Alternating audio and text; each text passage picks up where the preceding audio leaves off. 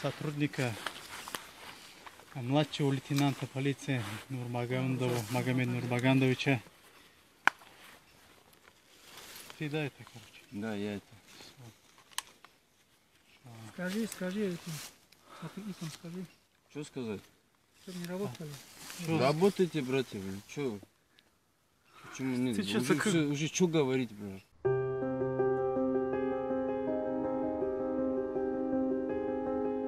Каждый из нас пришел на службу в органы внутренних дел по зову сердца. Поступок Магомеда Нурбагандова – это достойнейший пример чести, доблести, преданности сотрудника. Его фраза, которая уже стала крылатой «Работайте, братья» – это лишнее напоминание нам о том, что мы одна семья. У нас общие цели, общие жизненные позиции.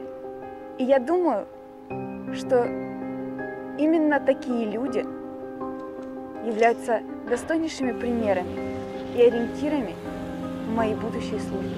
Не изменяя своим убеждениям и принципам, он остался мужчиной, каким его воспитывали его родители. Он не только не потерял свою честь и достоинство, но и дал огромнейший пример э, для всех сотрудников, которые работают э, сейчас э, в органах внутренних дел. Поступив на службу в органы внутренних дел, каждый из курсантов старается быть похожим именно на такого человека, на героя России, который ценой своей жизни в экстремальной ситуации защитил честь и достоинство сотрудников полиции, подтвердил статус полицейского.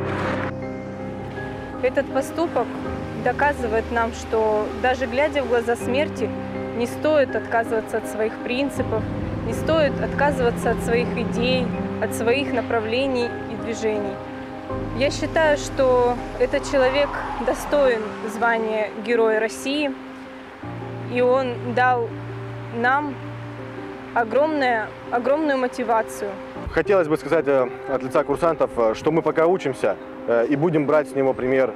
Пользуясь случаем, от всех курсантов Ростовского юридического института хотелось бы сказать огромное спасибо его семье, близким и родителям, которые дали такому сыну России такое красивое и патриотическое воспитание. Учимся работать, брат!